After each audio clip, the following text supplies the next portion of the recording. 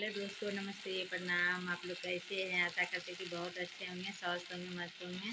जहाँ भी होंगे, अपने कामों में व्यस्त होंगे। माता रानी भोलेनाथ से दुआ मांगते कि आप लोग अच्छे होंगे। और नैना जी को ब्लॉग में आप सबका स्वागत है दोस्तों।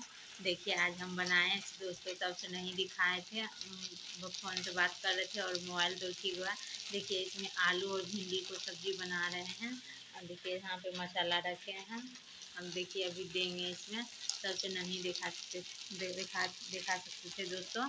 देखिए, मेरा मोबाइल तो एक ही है, पर इसी से काम कैसे चलाते हैं? देखिए, किचन और देखते हैं क्या बनाए, आपको दिखाते हैं। देखिए दोस्तों, यहाँ पे चोखा भूज के रखे हैं, चोखा है, और देखिए इसमें क्या बनाए हैं। आप लोग पहचानते होंगे तो कमेंट कीजिएगा। और देखिए इसमें देखिए दोस्तों, चावल है यहाँ पे। इसमें क्या है? देखिए दाल है दोस्तों। देख लिया आप सब।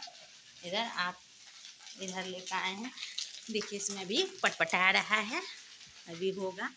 तो आप सबको हम मसाला मिक्स कर करके थोड़ा सा भुजा गया है और थोड़ा सा और भुजाएगा। तब मिलते हैं दोस्तों। तब तक के लिए बाय बाई